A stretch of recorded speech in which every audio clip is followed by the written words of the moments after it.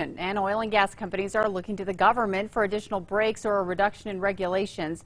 New Mexico is in better shape than others for the amount of crude oil the state produces. News 13's Ariana Kraft joins us now with details from a briefing that looks at the data.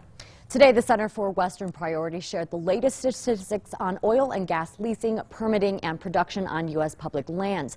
Environmentalists say there are more permits on public land leases than the industry knows what to do with.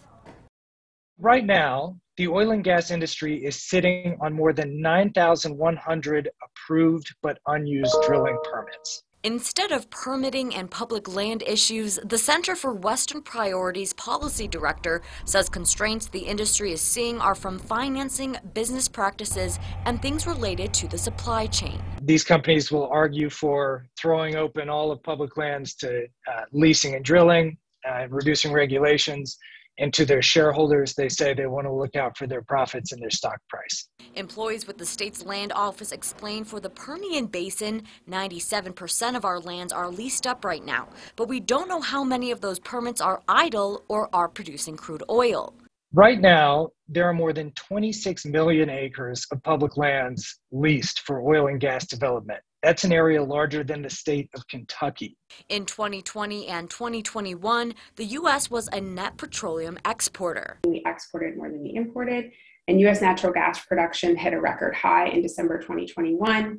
Oil production is up 20% from a year ago.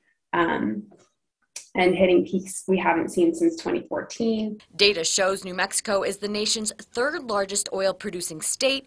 According to the Oil, Gas, and Minerals Division in fiscal year 2021, it oversaw 6,800 oil and gas leases. We can see that um, oil rigs have risen by 10%. The next slide.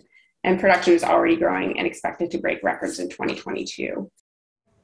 The New Mexico State Land Office auctions off oil and gas leases every month. In February, there were 10 tracts offered and sold for about 1,594 acres in Lea and Eddy counties. This month, 15 tracts are being auctioned. The auction started yesterday and runs through the 15th. Back to you. Okay, thanks, Ariana. Now, on state lands in New Mexico, the royalty rate can be up to 20%. Royalty rates are the percentage of money the state gets from the sale of crude oil.